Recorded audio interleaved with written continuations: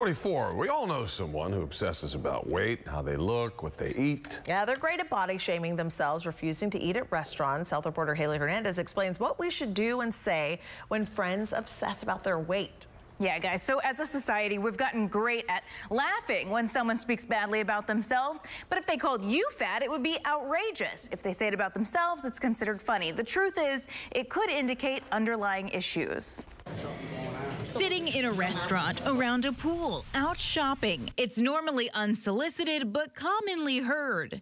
Oh my gosh, me too. I feel like I'm such a whale today. Psychologist Catherine Rossetti from the Eating Recovery Center in Houston says women joke about being fat or hating their bodies, but the reality is it's bullying, and it's time we stop each other from doing it. Almost kind of joke back and say, don't talk about my friend like that, right? It kind of points out the harshness and the reality that you're kind of bullying yourself. She says it's important to stop because normalizing this self deprecation teaches kids not to be satisfied with their appearances. Oh, mom thinks that she's fat. That's how I should talk about myself. I or they'll start thinking that that's how they're supposed to respond when they look in the mirror, they try on clothes. But the reason we do it can be masking a different issue.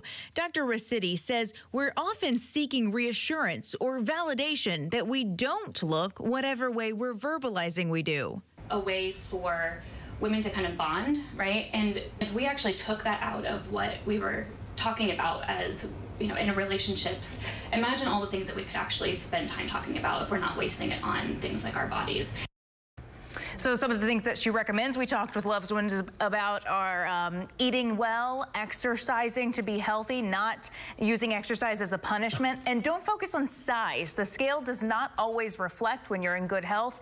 And if you want to stop speaking negatively about yourself, but you don't feel like you can, that's obsessive. And Dr. Rossetti says it's not healthy and should you should consult a professional about it. If you're actively trying to stop for your mm -hmm. kids' sake or, you know, just for the sake of not yeah. harming yourself and you can't, maybe time to talk to somebody. Absolutely. Great advice. Important topic, yes. We appreciate Thanks, it. Guys.